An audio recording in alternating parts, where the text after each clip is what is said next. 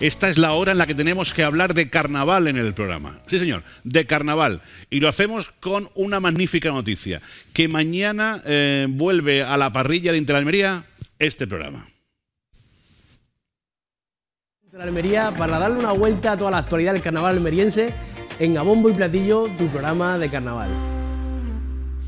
Claro, Vuelve, vuelve a bombo y platillo a las nueve y media de la noche mañana en Interalmería con Aarón Martínez como eh, piloto eh, de, de, este aparato y está Aarón Martínez conmigo. Aarón, muy buenas tardes. Buenas tardes, Alfredo. Bienvenido. Muchas gracias. Que estamos de estreno. Estreno mañana otra vez, otra temporada. Pero fíjate qué raro, a estas alturas, de, estamos en el mes de marzo. O sea, eh, una fecha mm, horrorosa para empezar un programa de carnaval si todo fuese normal, ¿no?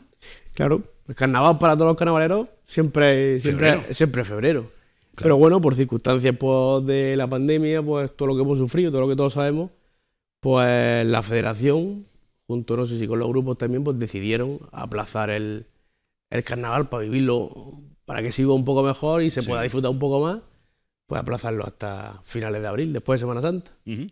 Fíjate, este año los capirotes son los teloneros de las máscaras, cuando siempre suele ser al revés. ¿no? Nosotros hemos sido los teloneros de Semana Santa, pues los penitentes van a ser los, los teloneros del carnaval. Bueno, ¿y qué va a pasar en Intermería todos los miércoles por la noche? Pues Alfredo, vamos a tener un montón de invitados, eh, un montón de sorpresas, que cosas que no se saben, que posiblemente se desvelen durante el primer programa ya va a haber noticias interesantes y nada, pues lo de siempre, va a ser un poco hablar con, con toda la gente del carnaval, la, las personas más importantes de, de, del mundillo sí, sí. y bueno, como siempre por la tertulia eh, y los debates que tenemos. Lo bueno que tiene el carnaval es que como es una fiesta que nace del pueblo, eh, pues hay mucha gente implicada en ella, hay mucha gente que le da forma y que sin su presencia eh, no se entendería esta fiesta, ¿no? Con lo cual, eh, toda esa gente nutre de información y nutre de invitados al programa. Y como, sí, exactamente, y como el carnaval es tan, tan como tú dices, tan del pueblo y, tan popular. y, y, y todo el mundo sabe y nadie sabe nada, pues hay opiniones tan diversas que es lo que le hace también rico a, a, al carnaval. Y todo eso lo vamos a tener todos los miércoles. Un carnaval con historia. Hace poco estuvimos hablando de ese libro que se presentó eh, hace pocas semanas y que eh, analiza un poco el, el, ir y devenir del carnaval en la provincia a lo largo de, los años, a lo largo de, la historia. Y, bueno, pues hay que remontarse a muchos años atrás. Eh, muchos protagonistas, sobre todo de la recuperación del carnaval en los años 80, eh, siguen con nosotros, evidentemente. Y, y, son voces más que autorizadas, pero también hay que sumarle las voces nuevas del carnaval, ¿no?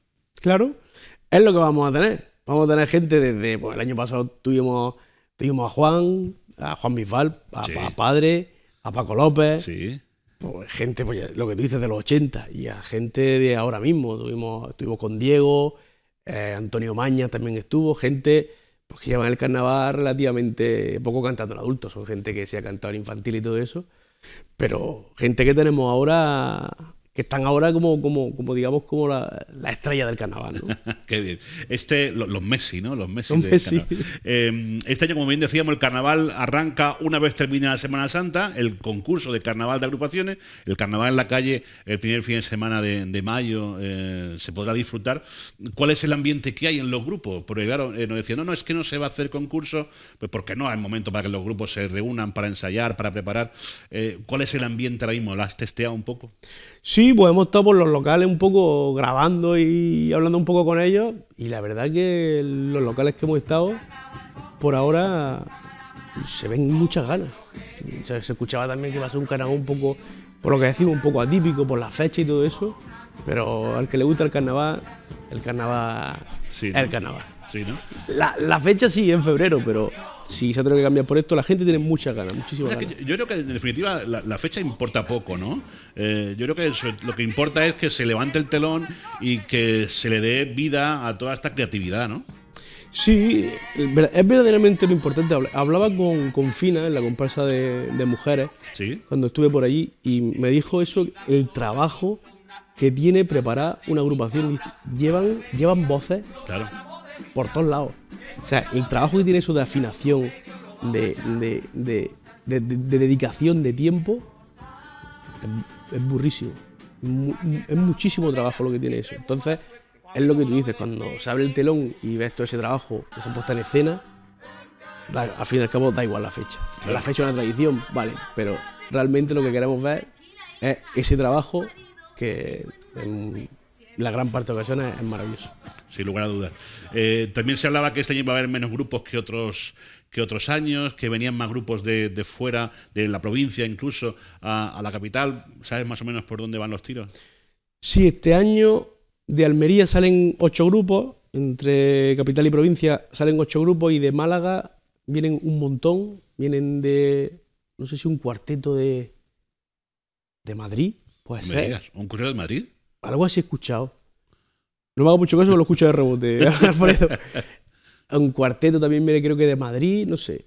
De Granada también viene, vienen cosas, pero un gran grueso de, de Málaga. Quizás también el que se haga el carnaval, se atrasa a esta fecha, eh, puede provocar que vengan otros grupos que de normal, en una fecha normal de febrero, no hubiesen podido venir porque estarían en el carnaval de sus provincias, ¿no? Exactamente, eso, eso es lo que ha pasado. Gracias a eso también, pues nuestro carnaval, que andará por unos 20 grupos aproximadamente, pues va a ser un carnaval un poco más amplio, más diverso y, a, la vez también diferente en cuanto a, a forma de cante, porque en Málaga se canta, la comparsa canta de una manera completamente diferente a la que se canta aquí, eh, con más quejío, más, más sentimiento. No es que aquí no lo tengamos, ah. pero se canta de otra manera, completamente, sigue siendo carnaval, pero de otra manera.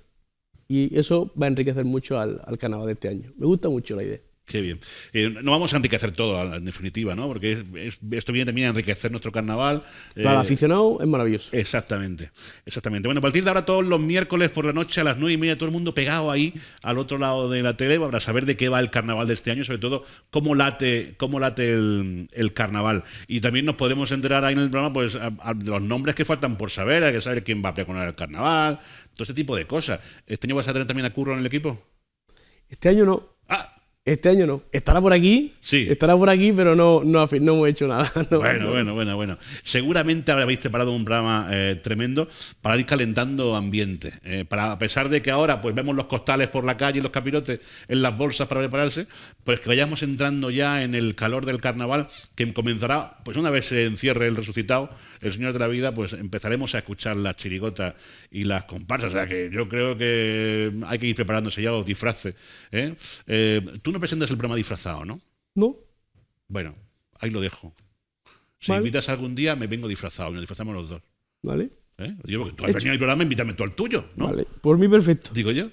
Aaron, muchísimas gracias. Sería un placer.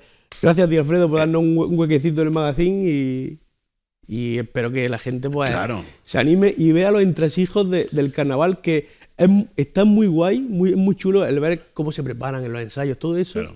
Es muy, es muy curioso. Yo voy a encargar todos los miércoles de recordarlo cuando terminemos el programa, decirle, no vayáis, que viene Aarón con, con el carnaval. ¿De acuerdo? Muchísimas gracias y enhorabuena, enhorabuena por el estreno. Gracias, Alfredo. eh,